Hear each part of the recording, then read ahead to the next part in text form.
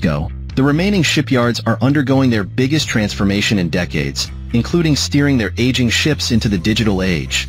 A new 200 million pound shipyard is being built on land reclaimed from the Clyde on the site of an old wet basin. And, within the existing production shed, a new steel cutting production line will transform the early stages of shipbuilding. The Glasgow Times was taken on a tour of BAE's Govan shipyard where the latest Type 26 frigate is being built. HMS Cardiff is on hard stand and is expected to be ready to sail later this year. HMS Belfast is taking shape in sections in the construction and outfitting hall, and HMS Birmingham is still in its early stages after cutting the first steel last year.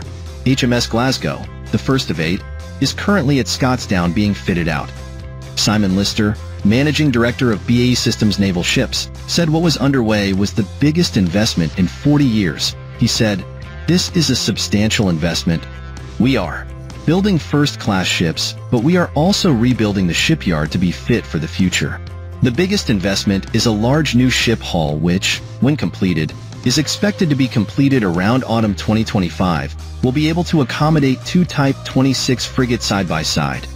The building will be 56 m high, 180 m long, and 80 m wide. It will have two 100-ton cranes to lift materials into place and two 20-ton cranes to operate at a lower height.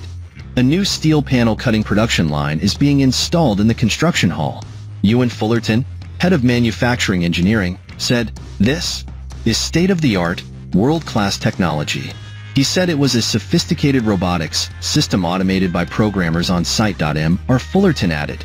We are retraining and upskilling the workforce to use the new technology. Mark Cosgrove, production manager, said, We are upskilling rather than bringing in from outside. They are steelworkers. The cumulative effect of this investment is that the ships will be built much faster and as a result will cost less. M. Our Lister said, the quicker you build them, the cheaper they are.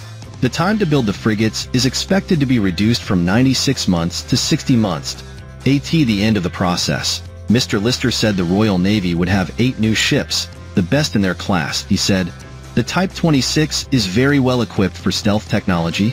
Everything about the ship, he explained, is designed to reduce noise and allow it to slip through the water efficiently and silently. The aim is to give the ships that will detect submarine threats to the UK and NATO a sonar range advantage.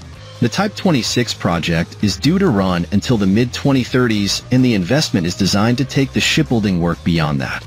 As well as infrastructure, BAE is investing to ensure its shipyards have the highly skilled workforce needed to build the ships, which will involve a large